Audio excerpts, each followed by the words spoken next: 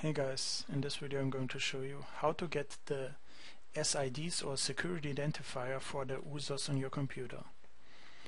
To get the current user's SID you can use the command prompt where you type who am I space forward slash user.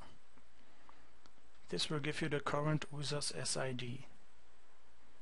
If you want to get the SIDs for all the users on the, that computer, you can use the WMIC command.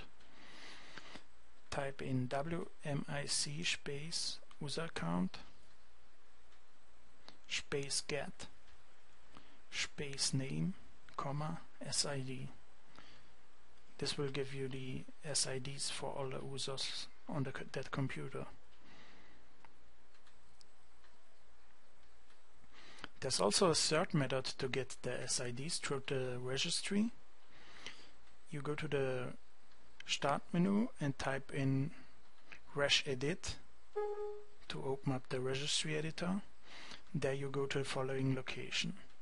HK local machines, software, Microsoft, Windows NT, current version, profile list.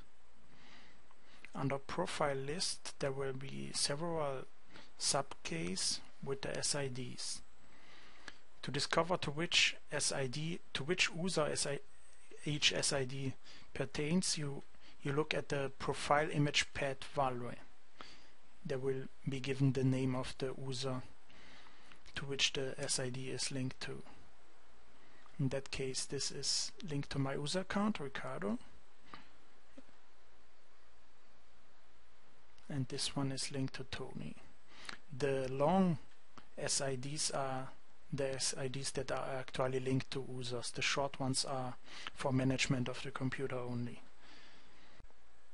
Okay, I guess that's it and thank you for watching.